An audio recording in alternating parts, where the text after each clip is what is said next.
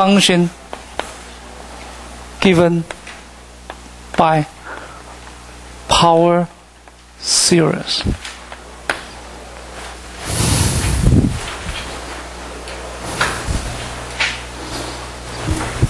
OK，我们这一章最重要一件事情是告诉我们，一个 function 可以用 power series 来表示。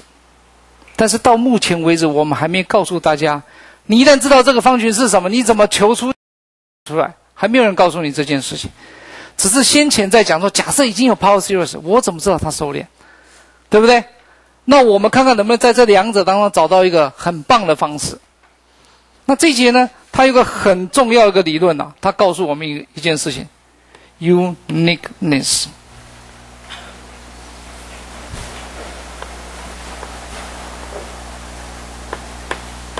of a power series representation。OK，这一节我只用讲了。它告诉我们很重要一些。假设有一个方选 fz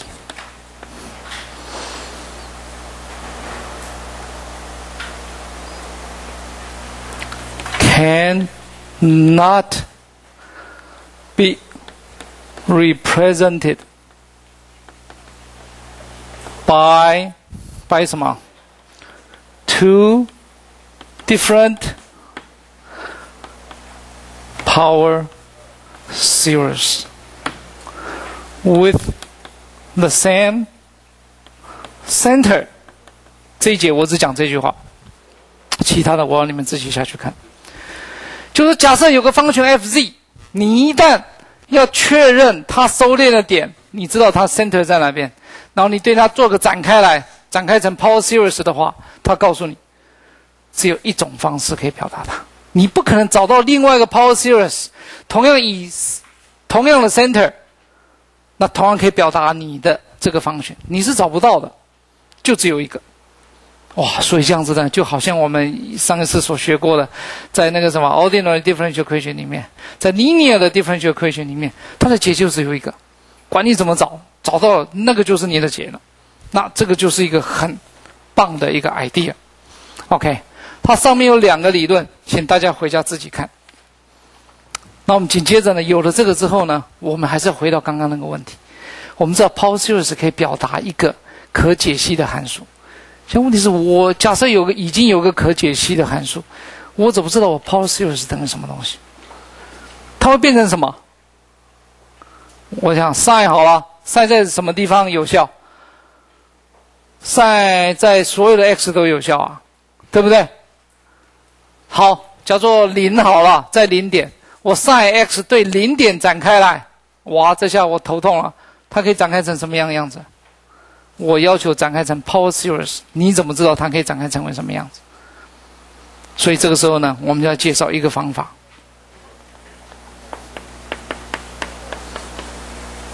：Taylor and Maclaurin series。所以呢，你们终于要学到 Taylor 泰勒展开始。什么叫做泰勒展开始？假设有个 f(z)，它可以写成呢 n 等于零到无穷大的 a n z 减掉 z 零的 n 次方。好，a n 等于什么？假设它是泰勒展开式，它告诉你 a n 一定等于 n 阶乘分之一的 f n 次方微分之后，再把 f 呢摆在零上面，它一定要等于这个样子。这个叫做泰勒展开式，看起来大概看不太懂，这是什么意思？尤其这个会等于什么？哎，这个我们不是上一次有教到吗？一个函数的微分，在那个点的微分，它是不是等于什么？记不记得？f n z 零，我们可以写成什么样？二派 i 分之 n 的阶乘 f_z z。减掉 z 零的 n 加一次方 dz，n 等于一二，记得这个式子吗？假设已经忘掉了，赶快拿我发下去的那一张笔记上来看一下，上面呢有讲到这件事情。OK，所以这样就告诉我们一件事情：a n 会等于什么？n 次方阶乘跟 n 次方刚好互相杀掉，二派 i 分之一的这个积分。为了避免符号啊，大家重复啊，所以我用了 z star。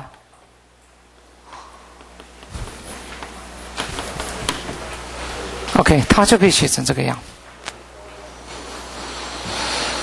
啊，写完之后还是不太有感觉，没关系，我们再来背另外一个形式。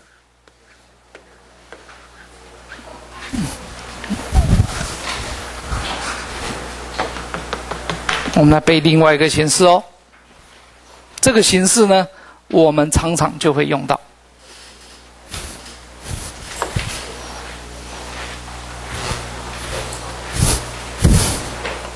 好，我们来看看一下，好不好？Taylor series，假设一个函数 f(z)，它可以写成什么样？f 在 z 零，再加上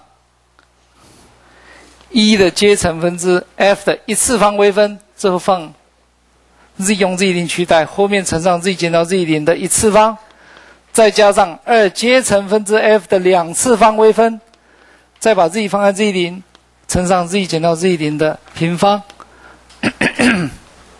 一路下去，到第 n 项 n 阶乘分之一的 f 的 n 次方微分，把 z 放在 z 零，z 再减掉 z 零的 n 次方，再一路加下去，这个叫做泰勒展开式，请你把它背起来。OK，请你把它背起来。好，什么叫做？Maclaurin series 呢，很简单。当 z 零等于零的时候，f(z)，你把它在 z 零等于零的这一点展开来，它就会等于一的阶乘分之 f 一次方微分 f 零乘上 z 的一次方，再加上二 阶乘。f 的两次方微分，把 z 放成 z 零，再加上 z 的平方，一路下来，一直到 n 的阶乘分之一，f 的 n 次方微分，把 z 放成 z 零的 z 的 n 次方，再一路下去。OK，这种的形式，OK，我们就这样子称呼它。到这边有没有问题？好，我们现在要开要来讲泰勒的理论了，OK？泰勒 theories。现在只是告诉你它可以这样子，还没告诉你为什么这样子最好，还没有告诉你为什么这样最好。那我们会慢慢的告诉大家，我看看。这样好了，我们先看看几个例子，然后我们再看大家的精神状况，看看要不要来证明，OK？要不然呢，你就先把它记起来。但是有几个例子呢，很重要的是，我们大家可以来了解它到底会变成什么。好，我们来看看哦。请问一下，请求 Maclaurin series，因为它是对零展开来嘛，告诉我 sin z 会变成什么？你要是用 Maclaurin 展开来，z 放零，sin 的零次方等于一，加上第一项一的阶乘分之一，一分之一，sin 的一次方微分，sin z 变 cos z，然后放零又是一，对不对？然后再乘上 z 的一次方，再加上二阶乘分之一，二分之一。sin 的两次方微分，sin 微分变 cos，cos 微分变负 sin，变成负的 sin 的零，那还是零啊？负的的零还是零啊？乘上 z 的平方，再来三阶乘，哦，这个是 n，第再来就是三个阶乘六分之一，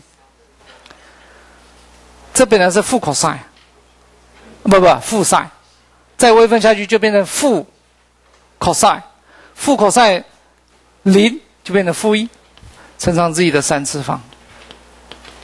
你发觉一件事情很好玩哦，sin 怎么样？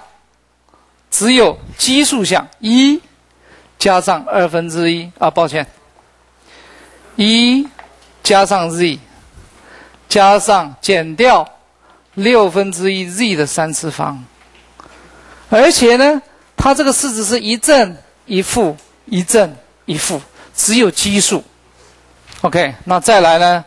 四次方也等于零啊，再就五次方，z 的五次方前面乘上一个系数。你记不记得 sin 是奇函数还是偶函数？奇函数，奇函数允许有平方项出现吗？不允许。哦，对，sin 零等于零，对，sorry，谢谢。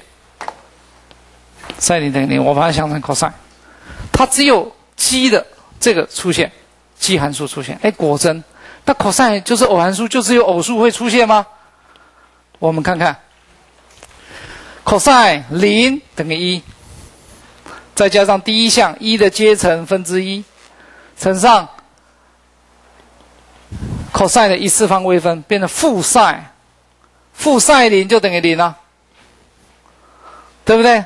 再乘上 z 的一次方 z，再加上二阶乘二分之一 f 的两次方微分，这边是负 sin，再来是负的 cos 变成负一，再去乘上 z 的平方，一直下来，你看它变成什么？一。这个是零呢，加减掉二分之一 z 的平方，再来呢会某个系数乘上 z 的四次方，一路下来，你看果真 cos 是什么？偶函数。好来，这样子你就可以知道它的状况怎么样展开来了。那我要是问大家，这个泰勒展开式啊，有几个？怎么展开呢？你们会不会？请你告诉我，exponential z 怎么展开来？log z 怎么展开来？你们会不会做了？应该会的嘛，对不对？直接就把它展开来就是了。OK，还有一个很重要的哦，一减掉 z 怎么展开来？展开来之后，请你们做这一题：一减掉 z 怎么展开来？展开了之后，它的收敛范围在哪边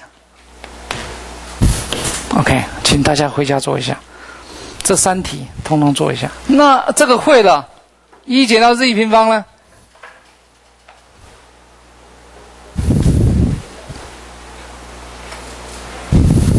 那要怎么弄？简单啊，我把它看作一减掉，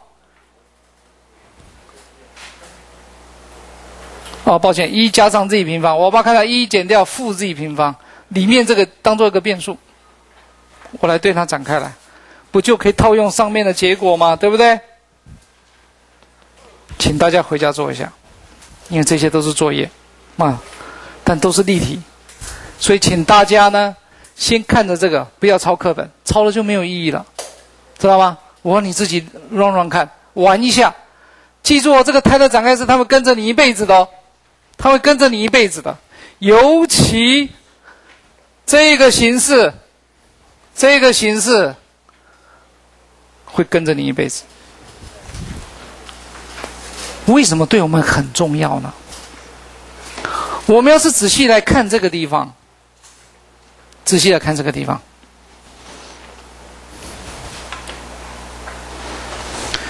这个东西呢比较复杂。OK，这个东西比较复杂，我来讲这边好了。这个的解呢只有一个，它会等于 summation z n 次方，它就变成这个样子，它就会变成怎么样？一加上 z，再加上 z 平方，再加上 z 三次方，这样一路下去。你直接展开的字就变成这样子，紧接着你要判断它的收，它的收敛范围，你才能够做。在这个状况下面，常常我们要解这个类似这种形式的时候，我们都没办法解，因为太复杂了。比如说你要做个积分，哇，有的东西复杂到你都没有办法，那这时候怎么办呢？我们就对它展开来，展开我们发觉这个 z 一定要小于一。所以后面越来越小，后面越来越小。那假设我只取前面一个、两个，后面通通把它忽略掉。比如说我这个 z 就够小了，已经很小了。比如说零点一好了，那你告诉我零点一的平方是什么？零点零一啊。那零点零零点一的三次方呢？零点零零一啊。哦，拜托啊，这已经好小，因为前面是一耶。一加上零点一就一点一。啊，纵使你的误差度是零点零一，那也不过百分之一嘛。假设你接受误差度百分之一，那我用前面一加上 z 来代代表就好了。那这样我整个计算就变成很简单。我不要计算这个，我计算这个。那这个时候我就写个近似于前面这两个。啊，你说不够不够，要精确一点，可以，我可以保留到这一项，后面就不要了。那我整个计算就会简化很多。OK，各位啊，你要是我不晓得你们电磁学碰到了没？你们应该有一些积分呢，很难算啊。你们助教应该在研究所碰很多，对不对？他要他要做个做个积分很难的，不然就非常非常非常靠近。比如说你求个 dipole 外围的电位，哇，这一块钱列起来已经快要昏倒了。那近一点怎么求？很远很远怎么求？我发觉很远很远很远的时候，可以经过一个变化呢，让它变成这个样子一个式子，然后我就不需要每一项都算了，我只算其中一项就好，那就非常棒。OK，还有哦，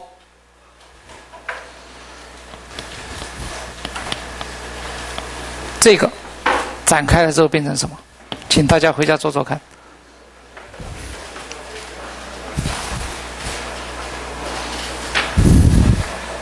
还有一个，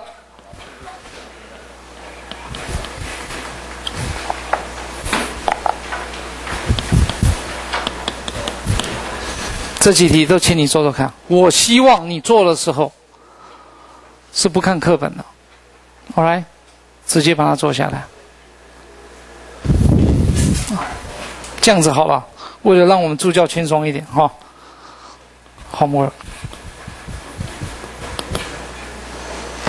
一、七、十二，这三题教就好了。上面这些你自己练习，好不好？我希望你真正的好好的练习。记住哦，这个根本就不要动脑筋，只要把公式背起来，照算，它就跑出来了。先练习好，以后碰到用的时候，你就不会害怕了。Section 十五点四。